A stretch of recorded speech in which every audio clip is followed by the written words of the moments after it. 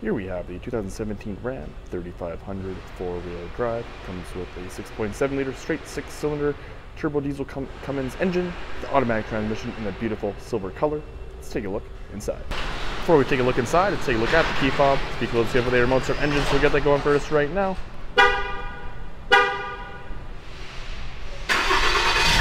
Starts up just beautifully for us as well. Also the keyless entry feature to get in. Press that button, open the door. Opens up nice and easy there for us. As you can see, have a nice uh, wood trim right here with our power locks, windows, and mirrors. Nice kind of ram embroiderment right there. Also have our premium Laramie uh, leather upholstery, the power driver and lumbar support, and our memory seat functions. Pop inside.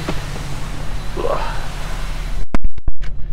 All right, uh, I think it's no running board. It's kind of hard to get up there, but uh, let's get this fully started there for us. Left side here we have our automatic headlight fog light controls and our digital gauge cluster dimming or or, um, or bright or make it brighter. Have our rain wiper controls on the left. Some op options here to control what we're seeing on our digital gauge with our, our radio or our uh, Bluetooth controls right here, and we have our cruise control functions there on the on the on the right. Also have some audio controls here on the back. Go through some of these options on the digital gauge, digital speedometer. Got your engine hours, your tire pressure information, your transmission temp, your oil life, your oil, your fuel filter life, battery voltage, your turbo and exhaust, and your gauge summary, fuel economy information, trip information for trip A and B, trailer tow, trailer brake. Your audio will show up there, whatever you're listening to. Any stored messages will come up here, like you have low on gas, something like that. Your screen setup, and back to our digital speedometer. Coming over to the infotainment, we have the, just above that, we have the Alpine sound system all throughout this vehicle. We're gonna go to the main screen. Actually, we're gonna hop into the media section here. Uh, you, can, you can connect your phone via USB, Bluetooth, or auxiliary. Also have a CD uh, disk drive as well. Gonna go back here, your controls. We do have a high and low uh, heated seat. Also have high and low ventilated seats there for us. A mirror dimmer. Show you the backup camera. Uh, we'll go back into controls here. Also take a look at our settings there. We have display, voice, clock, safety and driving assistance, which is where we're going to want to get into. We do have the, the park sense for the front and rear. Uh, you can tilt the side mirrors in reverse if you'd like. You can turn that on or off. Park view, backup camera guidelines, your hill start, and your auto rain sensing wipers. Also have the cargo cam view there as well, which is kind of nice. What else we got? Climate apps, hop into the apps there. You do have all your settings for that. Also, do have a navigation equipped in this vehicle as well, which you can zoom in or zoom out, which is kind of nice. Oops, you don't want to do that. That should be everything. Yeah, like you can, you can connect your phone via Bluetooth. If you do, you'll have access to your phone book, recent calls, dial, and messaging center there. So that is kind of nice.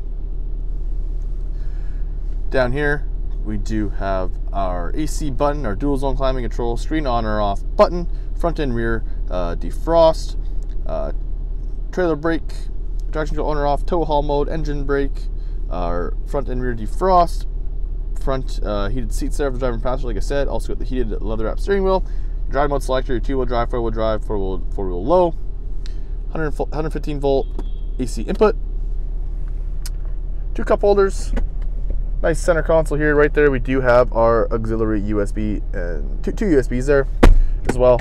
Got a bunch of room in there, and that's where our CD player is. Nice power tilt side sunroof up there. Rear window opener. There controls for a sunroof, universal garage door opener, and that auto dimming rear view mirror. Let's take a look outside. Here front, we have our halogen headlights and fog lights there. Our engine block heater right there. Two front tow hooks, a nice gloss black finish grille, a blacked out Ram badge, and there's a, a silver color around that as well. Front parking sensors, over 20 inch aftermarket alloy steel rims, which are super clean, gloss black in color. Got that Cummins turbo diesel engine, 3500 heavy duty. Paint matching door handles and rear tinted windows. We have a six foot three inch box, so you have tons of room there. Got some nice flares there for you. Mud flaps are all around the vehicle as well. Come around to the back here, got those rear parking sensors or uh, rear uh, rear tow hook or tow package. Also a 4x4 badge on the right. Open this up. Have a nice spray on box liner in the six foot three inch box. Also have that cargo bed right there as well that you can roll out as well, which is kind of nice. Put that back up. Take a look at those back seats. Going to the back here, we do have a nice armrest, that Ram badge right there, power windows, and that same wood trim to make everything pop.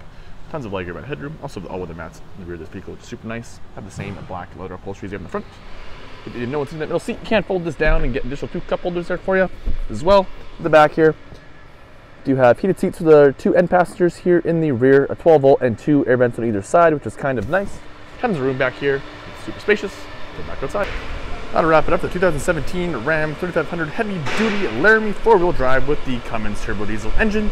If you have any questions or want to book a test drive, please feel free to visit us at parkmazda.ca.